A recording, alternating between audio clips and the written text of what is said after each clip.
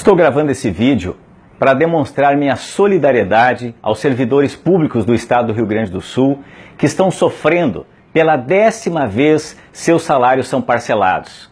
Especial apoio aos servidores da segurança pública.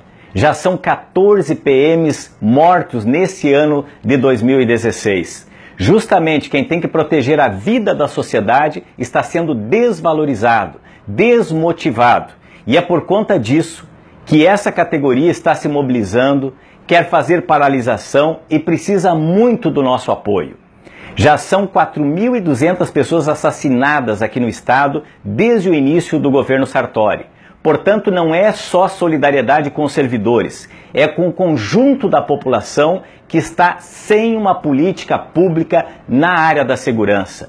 E segurança é um direito humano fundamental. Por isso, nós estamos juntos estaremos apoiando esses servidores indo para as ruas, também na mobilização do dia 11 de novembro, que é uma mobilização nacional contra a PEC que congela por 20 anos, uma medida do governo Temer que congela por 20 anos os repasses para as áreas sociais. Então, convido você, sua família, para estarmos juntos com essas mulheres, esses homens que labutam, que trabalham, que defendem a sociedade gaúcha, a sociedade brasileira.